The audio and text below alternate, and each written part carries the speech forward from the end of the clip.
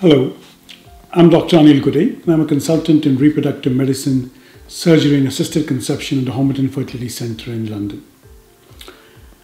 Today, I'm going to talk to you about whether we can improve the chances of pregnancy in egg donation cycles and whether the use of injectable progesterone would make a difference.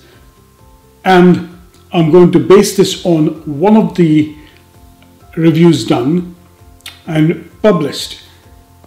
So, what are we looking at? We said, let's look at ovum donation cases for the time being, and then let us see whether we can use what we learned from this in uh, treating other patients.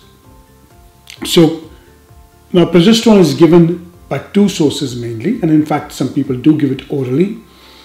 I would given either vaginally or systemically, either subcutaneous or intramuscular. The oral routes see, generally tend to be used less because of the first pass effect and its metabolization that occurs, and vaginal progesterone tends to give very high progesterone levels. So, what we do, do know is that there are multiple studies which have come through, and, and these I'll just enumerate. There were low pregnancy rates when there was low progesterone levels at the time of embryo transfer and high pregnancy rates. There were studies also which looked at low progesterone levels when a transfer was done. And a recent study which looked at vaginal progesterone gave a lower pregnancy rates in frozen cycles in autologous patients, which means those having their own eggs. And at present, there still continues to be a limited evidence, and there is more and more talk that goes, or discussion that goes on whether we should give a trial with vaginal progesterone. So, and this is a case where donor cycles were done, and women were less than 38 years old, and all the donors they had agonist trigger, and the recipient went on the long protocol to allow synchronization of donors.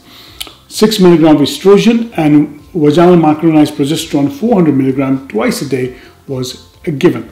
So from January 2016, so this study was done in a slightly different manner. So what they did is they, they did the intervention year-wise. So in, the, in January 2016 to December 2016, every recipient got vaginal progesterone. Then from January 2017 to July 2017, they decided to change it and add injectable progesterone, 500 milligram, that's a large dose, once a week even in 2 ml preparation, but if the HCG was positive.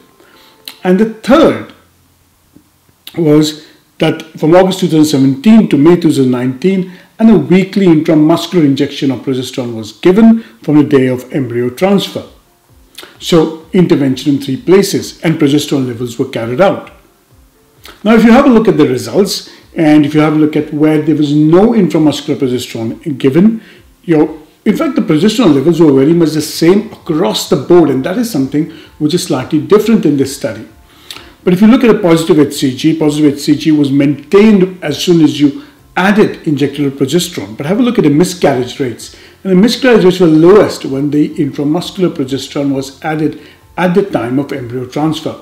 And in both the cases where either there was no vaginal progest- uh, intramuscular progesterone and if they, they did not add the injectable progesterone at the time of transfer, rather it was added with the positive HCG, the miscarriage rates were the highest.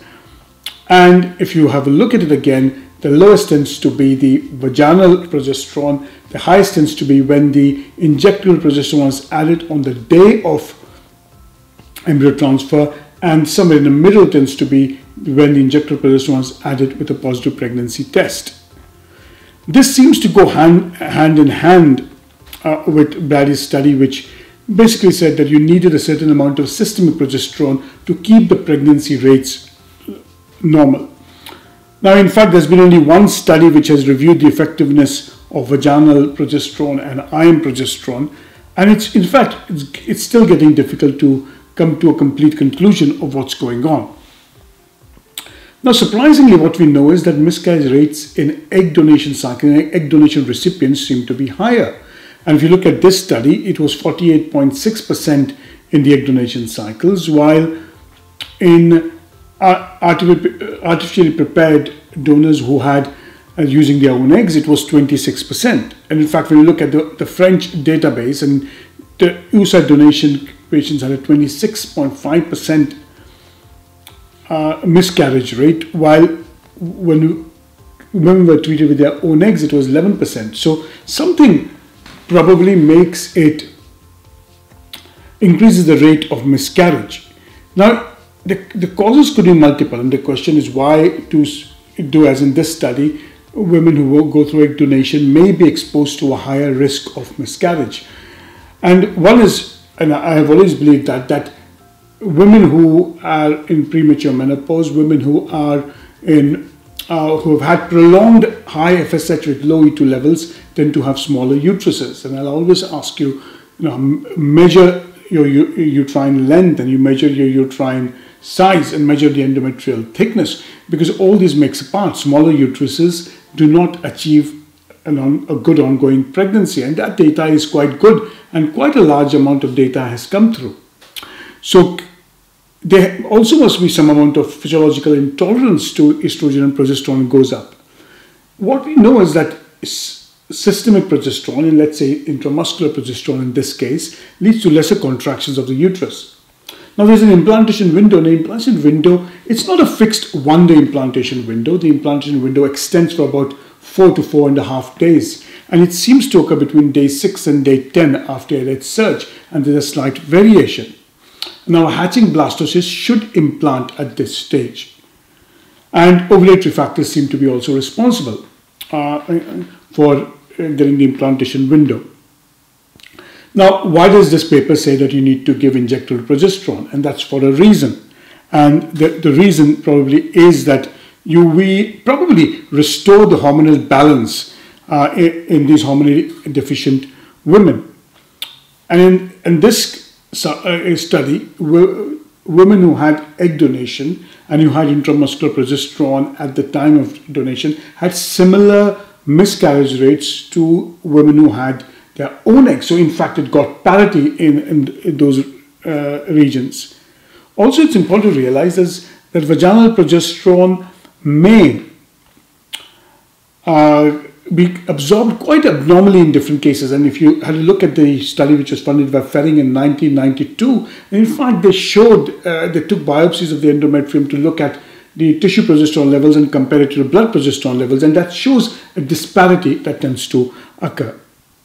Also remember in this case, vaginal progesterone, uh, uh, injectable progesterone was used, which was 500, and that's quite a large dose, and it's a depot preparation given every week. So on this basis of this study, and again that's my also my personal opinion, which i I would agree with them, is that some amount of systemic progesterone is needed, and mainly in those cases of egg donation, and probably starting from the time of embryo transfer. And we think that may give a rise to a better pregnancy rate.